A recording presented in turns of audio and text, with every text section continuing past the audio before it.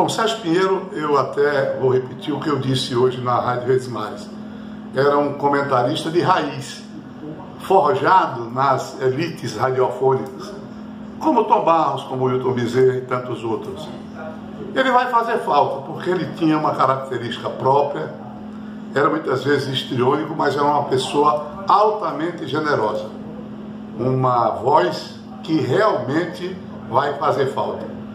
Estamos muito tristes, né? Muito tristes com a partida do Sérgio Pinheiro, que foi nosso companheiro, tanto na Rádio Verdes Mares, como no outro prefixo.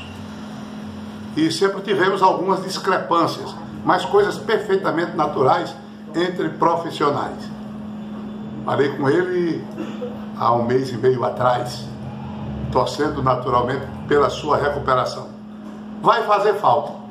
Vai fazer falta porque era realmente um nome respeitado, de grande audiência na radiofonia cearense. É, eu posso falar sobre dois anos, né?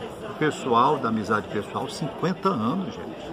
Um pouquinho mais, talvez. Logo depois que eu comecei a trabalhar, em 1965, o Serginho chegou. Então, amizade de 50 anos, com muitas histórias, muitas vivências, muitas viagens, Copas do Mundo.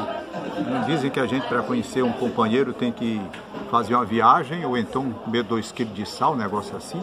Pois quantas viagens nós fizemos? Então, é a perda do amigo, primeiramente. Um sentimento muito forte de tristeza e de saudade, porque nós convivemos durante esse período todo, meio século, sem uma discussão.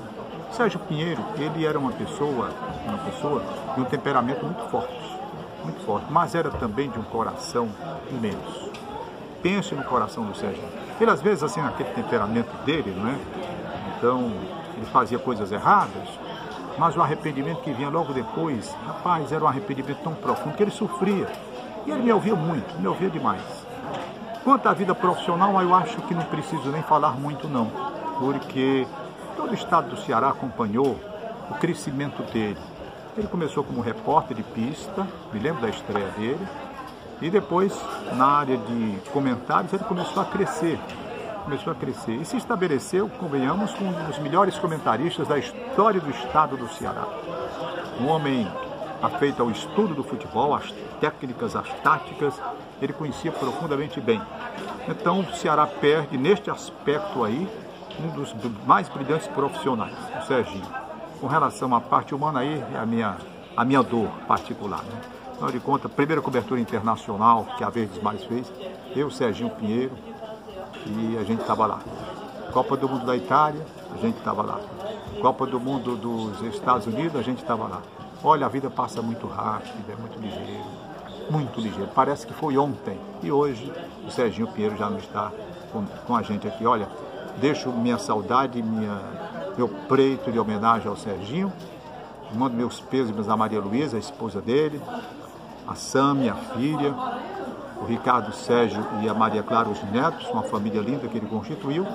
Vida que segue é isso aqui. Vamos aproveitar para lembrar o Serginho com tudo que ele fez de bom na imprensa do Estado do Ceará.